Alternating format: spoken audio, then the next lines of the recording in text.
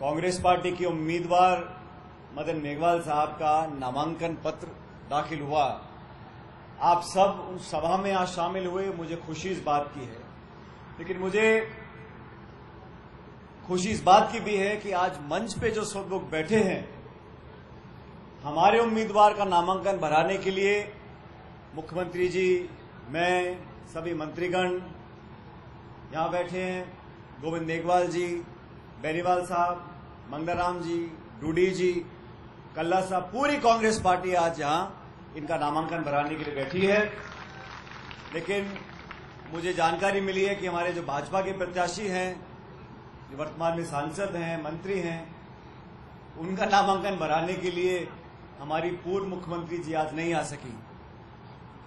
ये भारतीय जनता पार्टी में सत्ता में रहने के बावजूद जो दो फाड़ हैं, जो आपसी मनमुटाव है, उसका नुकसान राजस्थान के लोगों ने पाँच साल तक भुगता, क्योंकि प्रधानमंत्री जी, नरेंद्र मोदी जी और यहाँ की जो मुख्यमंत्री थी, वसुंधरा जी, उनकी कभी गाड़ी पटरी में बैठी नहीं।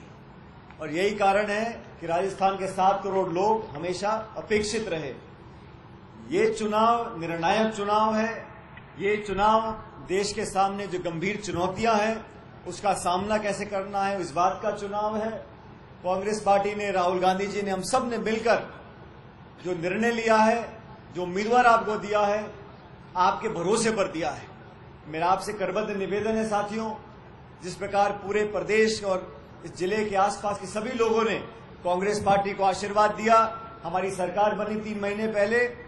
आज ठीक उसी तरह आप सबके आशीर्वाद और मत का हमको बहुत आवश्यकता है। मदन गोपाल मेघवाल साहब, आपके बीच में मेहनत कर कर इस पूरे बीकानेर लोकसभा क्षेत्र के प्रत्येक व्यक्ति के सांसद बनकर दिल्ली में जाकर काम करेंगे।